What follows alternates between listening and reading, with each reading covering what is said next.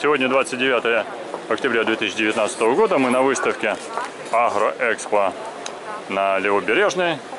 И здесь есть большой комплекс, посвященный пчеловодству. И мы вот подошли к, уголку, где есть ульи, есть вот нуклеусы. И вот э, мы одного из пчеловодов, который специалист как раз по разведению маток, Олег Мороз, мы решили, спро- Олег Иванович Мороз, спросить, расскажите вот про ваш опыт, как вы разводите пчел и как вы их вывозите вот на острова, поддерживаете линию.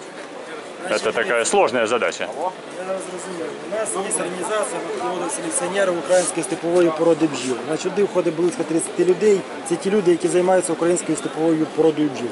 Значить, е, наша організація був розроблений такий нуклеус. Вот ЄВК. стеклянный, вот он как бы Да, смотровой він, немножко. Він е, зроблений із скла. Тут є отакі дві рамочки. Тут є кормове відділення, яке заповнюється так. Проход. Тут ганеманівська решітка. Значить, нуклеуси заселяються на рамочку вощини. більше як 10 вже. матка або матошник. Значить, пакуються в такі контейнери. По два, по, По два маленьких нуклеуса. Значить, е, ті, які возяться на остров, вони пінополістирольні. Е, Сюди привезли дерев'яний, тому що він більш естетично виглядає. Значить, і отак везеться воно на остров. На остров возиться Тоже, тоже такой стеклянный именно, со стеклом. ні, корпус іде пінополістирольний, він просто виступає як термос. Там дуже гарно підтримується температура.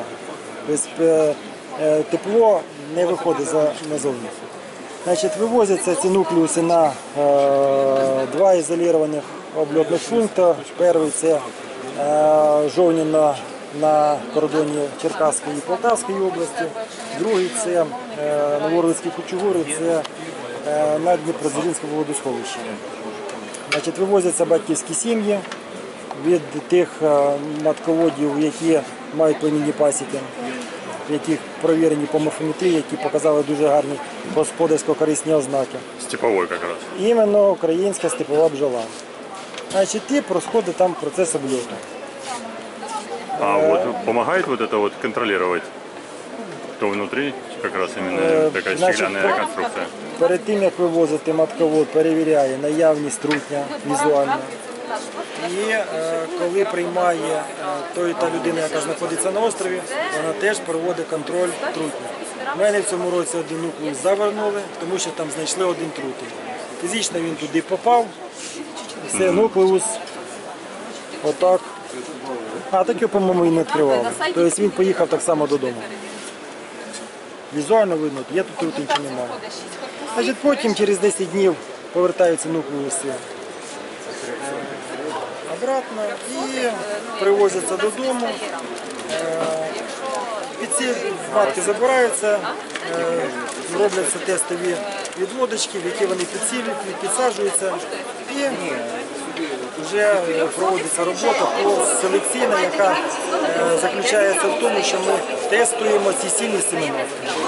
На основі того, як що вони показали, вже чи йде до подачу репродукцію, чи вибраковується.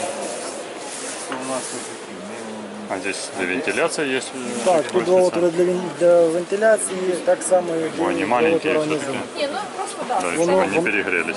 Да. А вот контроль э, именно трутня с тем, чтобы какой-то трутень не, не привезли его вместе, как бы э, раньше с пасеки. Да. Потому что... А тот, который э, как раз на острове, он может сюда к ним прибиться? Можна. В принципе, он может прибиться и тоже зайти потом даже в, в, в нуклеус. А вот что, что вы думаете по поводу вот других пород, которые не украинская степовая, которые сейчас пчеловоды иногда, скажем так, пытаются разводить, но больше на финансовую сторону ориентируются? Е, Розкажу вам так, якщо б ми е, ну, прекратили завоз е, всіх других пород в Україну, то через 10-15 років українські бджоли б очистилися до, са- до того самого стану, в якому вони були 30 років назад. Е, Розкажу, чому це так.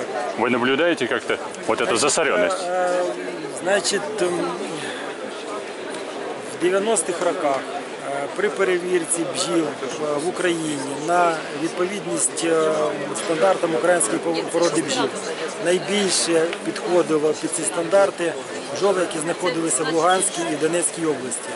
Це при тій умові, що ці в е, області привозилася дуже велика кількість пакетів. Пакети, як ви знаєте, всі везлися з Закарпаття. Е, Чому там було саме більше української степної породи? Тому що Карпатка в тих умовах не зимувала. Люди привозили туди, вона сезон відпрацювала і на 90% відходила. І все одно вона порода українська степова очищалася, очищалася. І на той момент вона там була в чистоті, ду- відносній чистоті. А сейчас? Е, Зараз дуже важко сказати, таких же дослідів ніхто не проводить. Тільки ентузіасти, такі як я, на, за своїх, на добровільних засадах за свій кошт беруться проби, перевіряються, їздяться на такі пасіки, які віддалені, які ніколи нічого не завозилися, де люди не купували. Е, Знаходяться бджоли, які е, візуально відповідають стандарту. Тобто сіренькі, незлобливі, перевіряються, якщо вони відповідають стандарту, значить потім проводиться подальша робота. Спочатку як тестова, якщо вона показала добрі господарсько-корисні ознаки, потім вона йде вже для такої, для селекційної роботи подальшої. Отлично. Ну, желаю вам успехов в такой творческой и познавательной в то же время работе, которая каждый раз, каждый год дает что-то новое. Наверняка во всем есть свои сложности и трудности, которые так быстро не описать. Удачи вам. Дякую. Спасибо. Сохранение украинских пчел, украинской степовой.